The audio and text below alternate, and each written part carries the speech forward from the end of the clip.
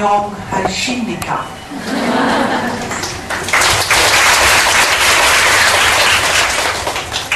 I want to talk a little bit about Pluto. Pluto that used to be known as the planet. Until the year 2006, the planets that we had around our sun are shown here. This diagram is not to scale. The Sun, Mercury, Venus, Earth, Mars, Jupiter, Saturn, Uranus, Neptune and Pluto. And we knew that there were some other non-circular, funny shaped objects as well, small rocky things. Pluto was discovered in 1930 at an observatory in the United States called the Lowell Observatory. It had been set up by an American called Percy Lowell, who was very keen on finding more planets. So the purpose of this observatory was to find more planets. They actually found the planet Pluto in February of that year but they delayed the announcement until the 13th of March. That was Lowell's birthday, and although he had died by this time, if he had been alive, it would have been his 75th birthday. 75 is an important number in the West. And when Pluto was first found, they thought it was a big planet it was heavy and it was large. But they were mistaken. This shows you some of the reasons why Pluto is peculiar. Pluto has a curious orbit, an unusual orbit. Here is the orbit of Neptune and indeed many other planets when you look at them edge on. Pluto lies in a different plane. It is inclined. And whilst the orbit of Neptune is circular, the orbit of Pluto is very elliptical. Sometimes it goes inside the orbit of Neptune and then it swings a long way outside. So its orbit is different from the orbit of all the other planets. It's also actually very small in mass as planets go. It's the smallest one, in fact, although they did not realize this when it was discovered. And it's actually smaller than the moons, the satellites of some of our other planets. So here we have some of the moons. Here's Ganymede, Titan, Callisto, Io, our moon, Europa, Triton, and Pluto. And this is classified as a planet. It's very small. It has a moon of its own called Charon. And Charon is very big. Here's a picture of Pluto and Charon and two other small moons that Pluto has. You know that on Earth we always see the same face of the, our moon. Our moon always shows us the same face. It's locked.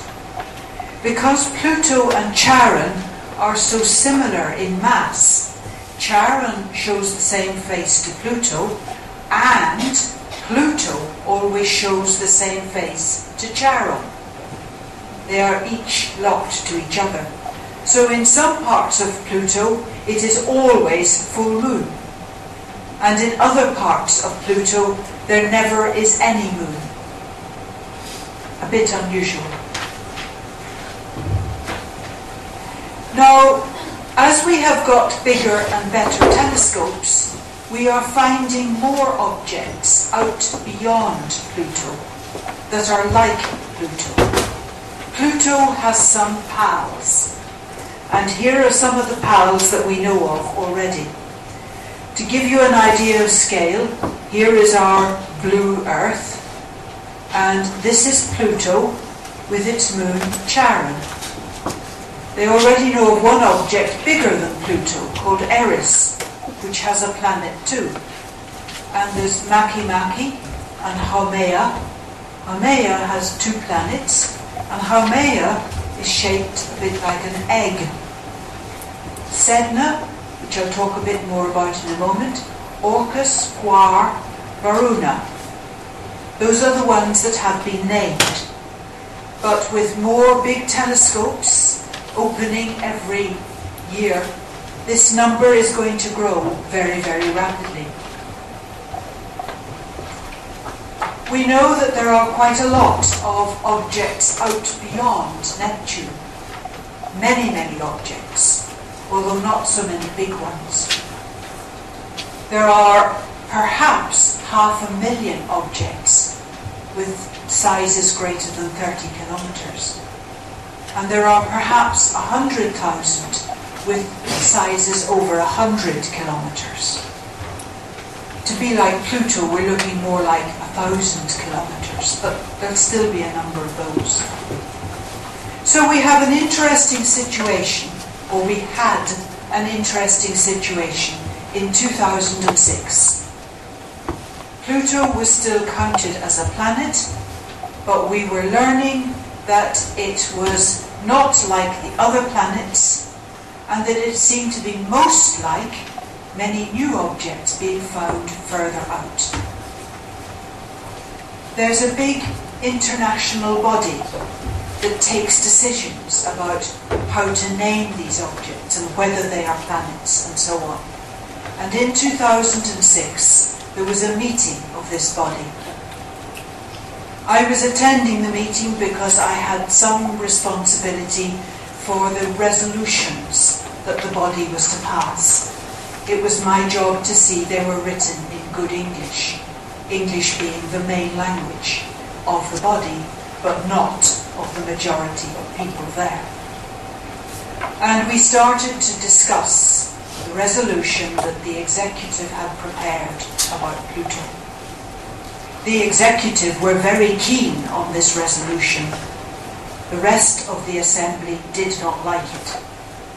So the ten people who had power and sat up at the front wanted one resolution, and a thousand people out there did not want it. And we had some tough meetings. And finally, I was called in to run the meeting because I knew nothing about Pluto. My expertise is elsewhere. And it was scary. I learnt afterwards that two television companies were streaming the debate in real time on their website. And as soon as we had taken the vote, several hundred press people rushed out to send reports back home. But in 2006, we decided science has moved on. New data has come in about Pluto and about Pluto's pals. It's time to do a chop and from 2006, we no longer have nine planets, we have eight planets, and we have a new category called dwarf planets, of which Pluto is the nearest, the most accessible, and the best studied. So this is the solar system with Sun and eight planets, and then many, many, many, and a growing number of dwarf planets out there. So these objects lie out beyond Neptune, shows the orbits of some of them.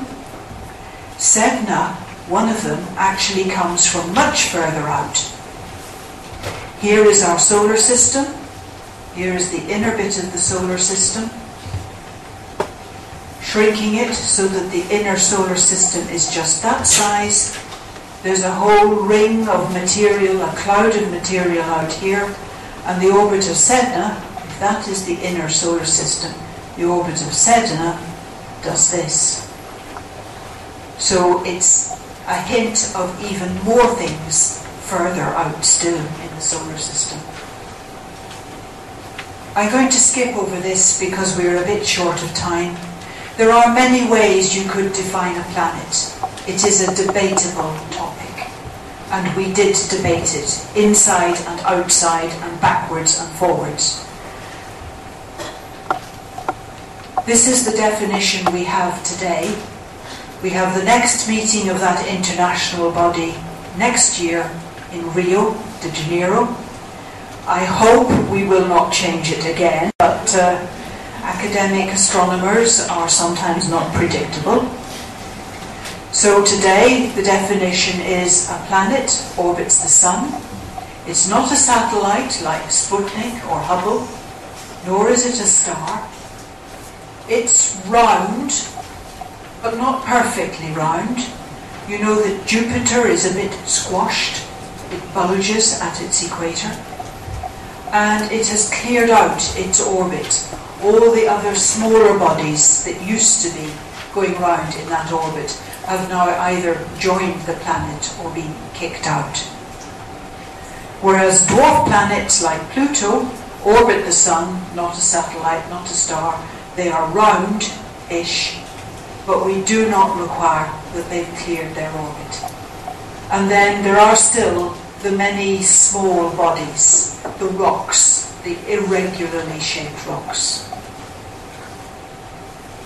There are still issues outstanding which we will have to debate in Rio, and I hope those debates are calmer than the last one. One thing that has been decided objects like Pluto, Pluto's pals, are now called Plutoids. That definition was agreed just earlier this year. So that is a new name for you. I think this is a good example of how science moves on.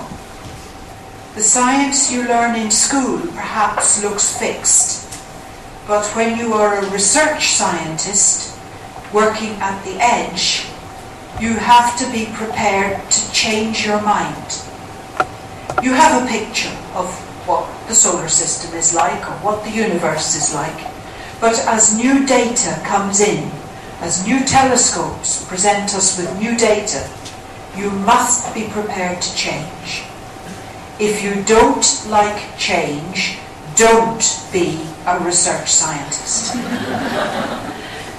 you have to sit light to your pictures, your models, and be prepared to move on if new data requires you to.